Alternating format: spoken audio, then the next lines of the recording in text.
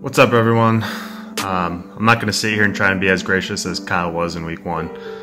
Um, I think we all know his performance was a fluke and that he could never duplicate that type of production. Um, he went from 163 points in week one to not even being able to crack 80. Um, he's basically the New York Jets of the league at this point. Um, anyways, enough about Kyle. Uh, let's talk about my team, Fourth and Lynch's.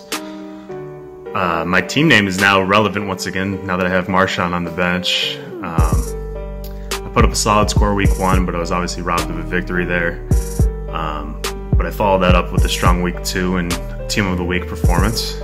Um, and then this week, I, I was able to pick up Josh Gordon on the waiver wire, so thank you, Dante. Um, he's probably gonna have he probably would have had some good trade value, but uh, I appreciate just picking him up on the waiver wire. So yeah, my team's just getting better, and I expect to. This is just the first team of the week of many to come.